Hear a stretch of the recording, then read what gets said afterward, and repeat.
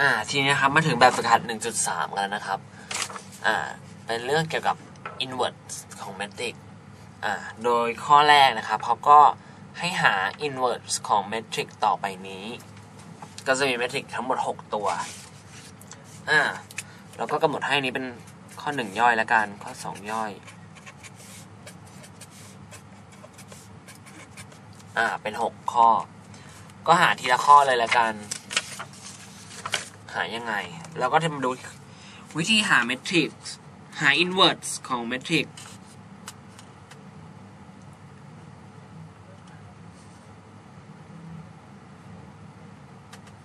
หา inverse ของเมทริกซ์ขนาด2คูณ2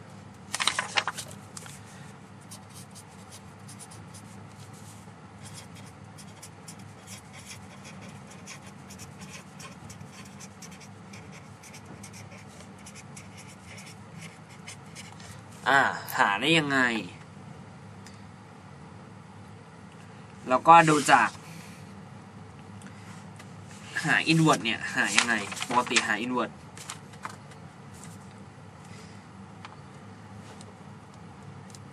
หาได้ไหมเอ่ย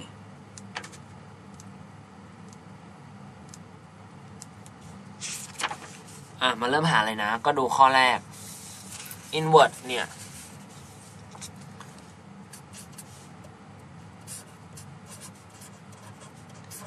เท่ากับ 1 ส่วนเดฟคูณ adjoint ถูกปะคูณกับ adjoint 1ส่วนเดฟคูณกับ adjoint ซึ่งเดฟเดฟขนาด2คูณ2ก็คืออะไรคูณขึ้นเป็นลบคูณลงเป็นบวก ถูกบ้าน1ส่วนคูณขึ้นเป็นลบก็คือ 0คูณลงเป็นบวก คือ 3 คูณกับแอดจอยแอดจอย adjoint adjoint adjoint หาไง หาได้จาก cofactor transpose ถูกปะ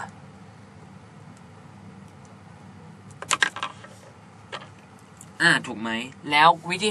การหา adjoint ของเมทริกที่มีขนาด2คูณ2อะหาได้ยังไง ก็คือเอาอันนี้สลับกัน เอา1กับ 3 สลับกัน ถูกไหมแล้วก็ส่วนที่เหลือเนี่ย ใส่ติดลบปะปะสิลบติดลบไว้ เรียบร้อยก็จะได้ adjoint ของเมทริกขนาด เฉพาะขนาด2คูณ2นะ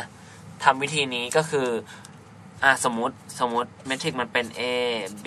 c d ได้ว่า adjoint ของมันเนี่ย เท่ากับ เอา d กับ a สลับกัน แล้วติดเป็นลบ c กับลบ b อ่าได้ไหมเอ่ย เพราะฉะนั้นก็ใช้วิธีนี้ทำทุกข้อ ทำทุกข้อเลย เราได้ว่าได้ inverse ของเมทริกข้อที่ 1 มาแล้วว่ามันคืออะไร เพราะฉะนั้นข้อที่ 1 ตอบ1ส่วน3คูณเข้าไปก็เป็น 1 0ลบ2ส่วน3แล้วก็1ส่วน3อ่าได้ inverse ข้อแรกมาเรียบร้อยแล้วนะข้อแรกตอบเท่านี้ ไปดูข้อที่ 2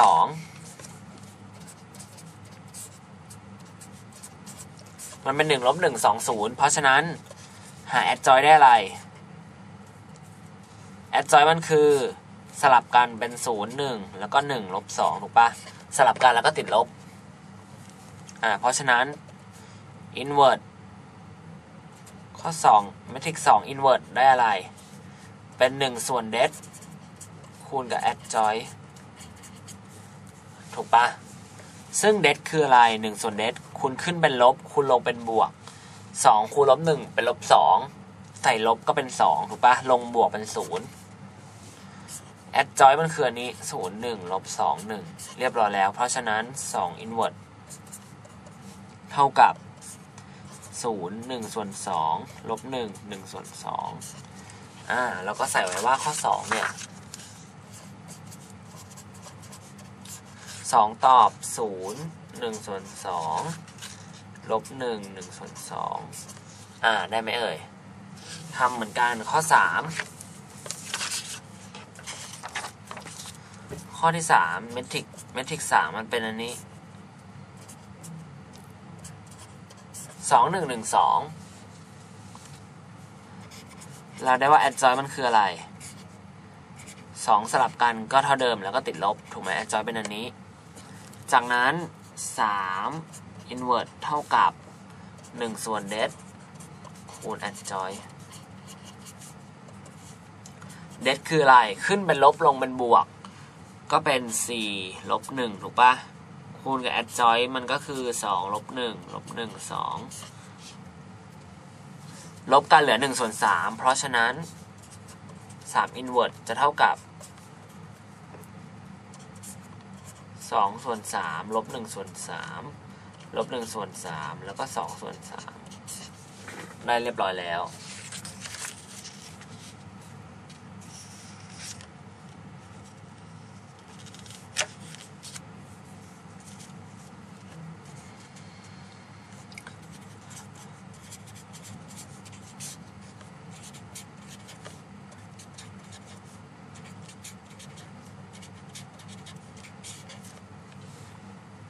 อ่า ได้ไหมเอ่ย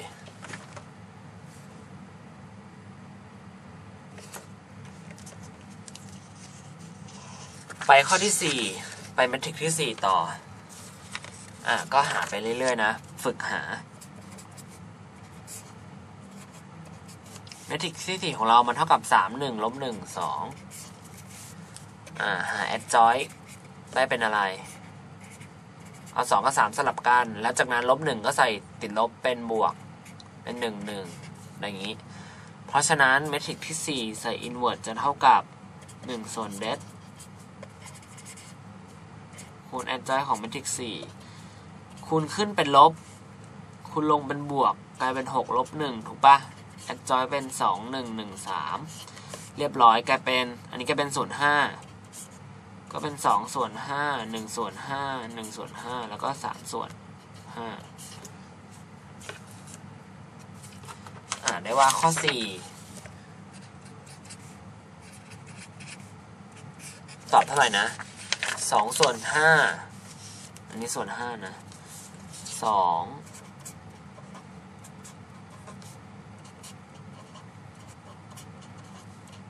เรียบร้อยเมทริกสี่ผ่านไปเมทริกที่ห้า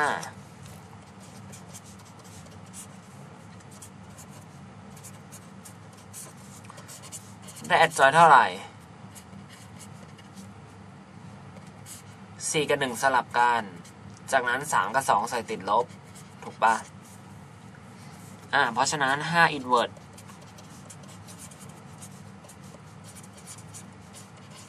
อ่า ต้องท่อง ต้องให้ท่องให้ขึ้นใจเลย invert เท่ากับ1ส่วน det คูณ adjoint จากนั้น 1 ส่วน det ได้เท่าไหร่ ขึ้นเป็นลบ เป็นลบ 6 ลงเป็นบวกเป็น 4 บวก 4 ลบ 6 เป็นลบ 2 ถูกปะ adjoint ของ 5 มันเป็น 4 ลบ 3 ลบ 2 1 เพราะฉะนั้นก็คูณ เอาลบ1ส่วน2คูณเข้าไปก็เป็นลบ2 3ส่วน2เป็น1แล้วก็ลบ1ส่วน2ได้ไหมเพราะฉะนั้นข้อ5ตอบห้า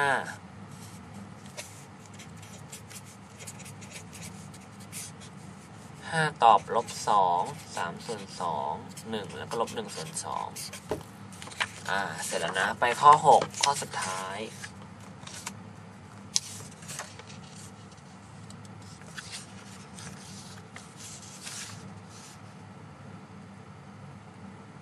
ข้อหกตอบเท่าไหร่เมทริกหกของเรามันเป็นลบสองหนึ่งหนึ่งส่วนหนึ่งกับสามอ่านี่เป็นลบด้วย หา adjoint adjoint เท่ากับสามกับลบสองสลับกัน แล้วก็หนึ่งกับลบหนึ่งใส่ติดลบเข้าไป ถูกไหม เพราะฉะนั้น6 invert จะเท่ากับ1ส่วน det ซึ่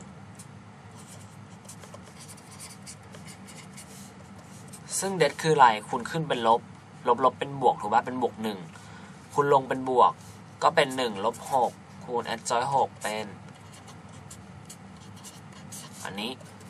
หนึ่งลบหนึ่งส่วนห้าถูกป่ะอาลบหนึ่งส่วนห้าคูณเข้าไปในข้างหลัง อันนี้เป็นลบหนึ่งส่วนห้าก็คูณเข้าไป เป็นลบสามส่วนห้าหนึ่งส่วนห้าลบ หนึ่งส่วนห้าแล้วก็สองส่วนห้าเรียบร้อยแล้วข้อ 6 ตอบ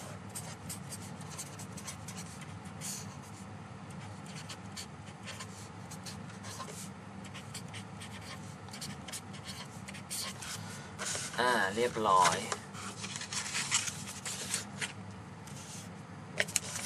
ก็หา invert เสร็จครบหมดแล้ว นะ ได้คำตอบเป็นเท่านี้ เดี๋ยวให้ดูโจทย์ให้ดูโจทย์อีกหนึ่งรอบ โจทย์เป็นเมทริกสองขนาดสองคูณสองอ่า ได้คำตอบเป็นเท่านี้หกข้อ อ่า เดี๋ยวให้เวลาจดคำตอบแป๊บนึง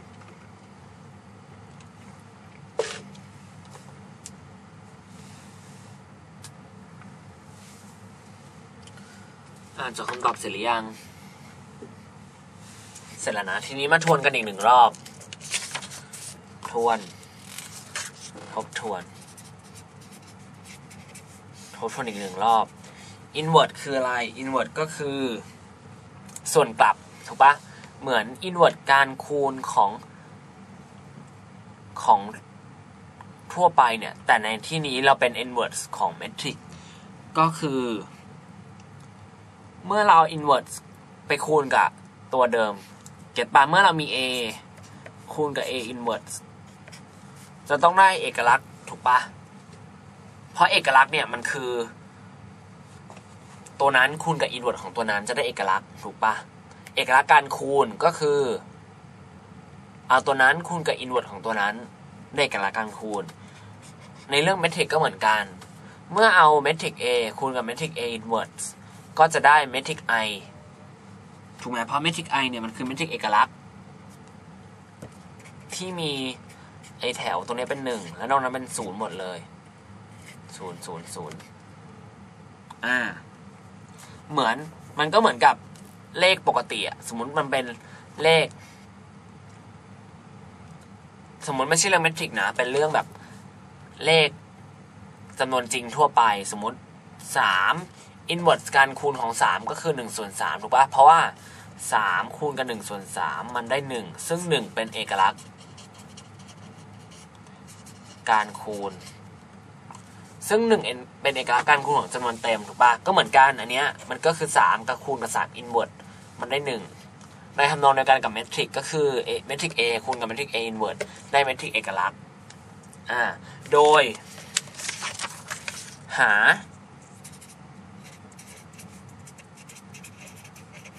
การหา inverse ของเมทริกสองคูณสองหาได้ยังไง สมมุติเมทริกขนาดสองคูณสองเราเป็น a b c d หา inverse อย่างที่บอก inverse เมื่อกี้คือหนึ่งส่วนเดคูณกับ adjoint ถูกปะหนึ่งส่วนเดคูณ adjoint ซึ่ง adjoint ก็คือการ cofactor transpose ถูกปะ co metric cofactor transpose อะทีนี้เราลองมาหา cofactor ของเมทริกขนาด2คูณ2ดู ได้อะไร อะเรายังไม่ทานสโพนนะ เราหา cofactor เฉยๆ cofactor ก็คือลบหนึ่งลบหนึ่งลบหนึ่งกำลัง i บวก j คูณ minor ถูกปะ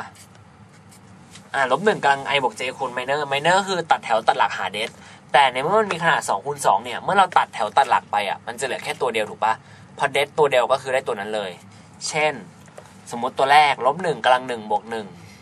ลบหนึ่งกำลังสองก็คือหนึ่งตัดแถวตัดหลักหาเดสก็เป็น d ถูกปะอ่า เรามาดูที่ตัวนี้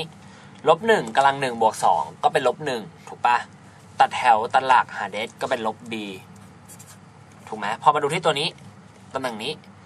ลบหนึ่งกำลังหนึ่งบวกสองก็เป็นลบหนึ่งตัดแถวตัดหลักหาเดสก็คือลบ c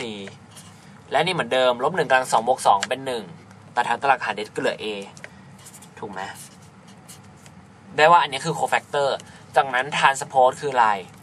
กับแถวกับหลักถูกปะ เป็นอะไร เอาแนวนอน เอาแนวนอนมาเขียนเป็นแนวตั้ง ถูกปะเป็น d กับลบ c เอาแนวนอนมาเขียนเป็นแนวตั้งก็คือลบ b กับ a อ่าได้ว่า adjoint ของเรามันคือตัวนี้ ซึ่งเราก็ลองกลับมาเทียบกับตัวเดิมของเราดู ตัวเดิมตัวเดิมของเราเป็น a b c d แต่ adjoint เราเป็น d ลบ b ลบ c a ก็คืออะไรก็คือ 2 ตัวนี้ ในแนวเฉียงอย่างนี้ สลับกัน สลับตำแหน่ง สลับตำแหน่งกันถูกป่ะในแนวเฉียง แล้วจากนั้น เราเห็นได้ว่า c มันกลายเป็นลบ c แล้วก็ b กลายเป็นลบ b ตำแหน่งที่เหลือคืออะไรติดลบ ถูกปะอ่าตำแหน่งที่เหลือคือติดลบ ก็คือสลับตำแหน่งกัน ในแนวเฉียงอย่างนี้สลับตำแหน่ง และตัวที่เหลือติดลบ เพราะฉะนั้น1ส่วนเดทคูณแอดจอยแล้วเดทของเมทริก2คูณ2คืออะไร คูณขึ้นเป็นลบ คูณลงเป็นบวก ถูกไหมคูณขึ้นเป็นลบคูณลงเป็นบวก ก็เป็น 1 ส่วน AD ลบด้วย CB คูณกับแอดจอยแอดจอยเมื่อกี้ของเราก็คือ A กับ D สลับกันเป็น D แล้วก็ A จากนั้นอันที่เหลือติดลบ อ่าเราก็จะได้ มันก็ไม่เชิงเป็นศูนย์นะ แต่ว่าเวลาหา inverse ของเมทริกขนาด2คูณ2เราก็จะได้ว่า inverse มันจะเป็นตัวนี้ เมื่อนี้คือตัวตั้งต้นนะ ก็คือหา adjoint โดยการสลับแถว สลับอันนี้ที่เหลือติดลบ แล้วก็คูณด้วย inverse อ่าเรียบร้อยสำหรับการหา inverse ของเมทริกขนาด2คูณ2ซึ่งเมทริกขนาดถ้ามันขนาดเกิน2คูณ2เนี่ย ก็หาได้ทั่วไป หาได้จากวิธีนี้ทั่วไป นั่นแหละ แต่ว่า adjoint ของเรามันจะไม่ไม่ง่ายขนาดที่แค่สลับสลับแล้ว เราต้องนั่งหา adjoint จริง ๆ ก็คือหา cofactor แล้วมาทาน support นะก็จะยากขึ้นนิดหน่อยอ่าก็จบสำหรับข้อนี้นะครับ ทีนี้มาดูคำตอบอีกหนึ่งรอบอ่าจบสำหรับข้อนี้ซึ่งคำตอบก็คือนี้อ่าเรียบร้อยแล้วนะครับสำหรับสำหรับข้อหนึ่งย่อยหา inverse ของ metric 2คูณ2